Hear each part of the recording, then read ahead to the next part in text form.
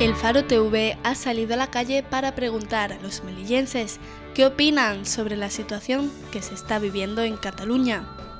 También hemos aprovechado para preguntar si creen que finalmente el próximo 1 de octubre habrá o no habrá referéndum.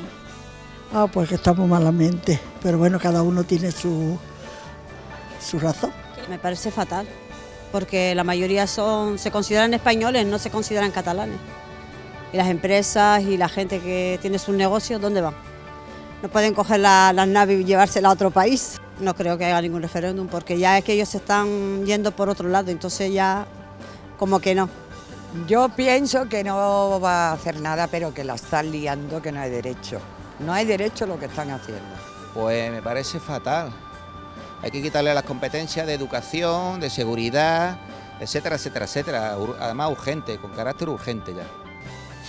Si te, cuento, la verdad, no me, no me parece bien.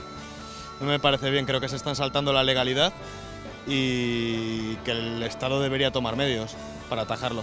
Imagínate lo que me parece. Me parece horrible que nos tengamos que separar los españoles por cuatro sinvergüenzas. Sacarán seguramente para hacerlo, porque, porque tengo familia que a los niños lo están obligando a salir. Así que con eso te digo. Fatal, separarse es lo peor que pueden hacer. Separarse del país es lo peor que pueden hacer. Aparte que lo van a pasar mal. Bastante mal lo estamos pasando porque está solo. Más vale mal acompañado que... pues no lo sé, no me gusta la independencia, no lo sé. No me, no me parece bien. Espero que no.